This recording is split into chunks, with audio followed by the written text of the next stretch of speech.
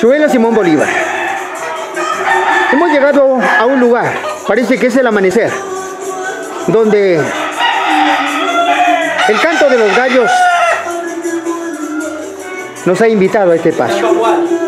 Este es un rectángulo, un círculo, donde seguramente hay competencias los fines de semana.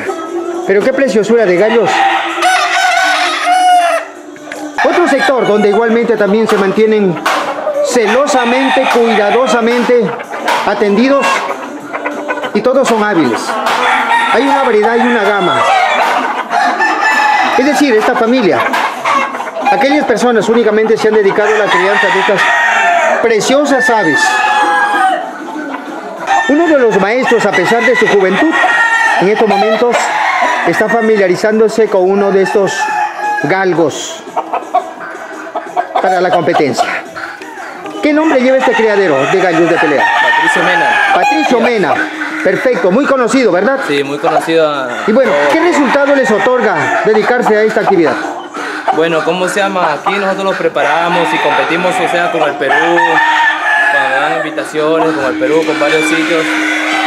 O sea, para, ¿cómo se llama? Participar en los gallos de pelea A nivel provincial, nacional e internacional. internacional. Internacional.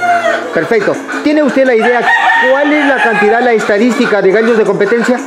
Aquí hay un presupuesto de unos 200 gallos de pelea. 200 gallos de pelea. Entre Por semana, ¿cuántos pelean? En la semana yo peleo 5 gallos 5 gallos. semanales. ¿Y cuáles son los resultados?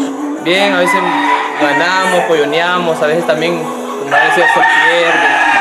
Toca perder. Toca. ¿Y cómo surge en una persona tan joven como usted dedicarse a este deporte?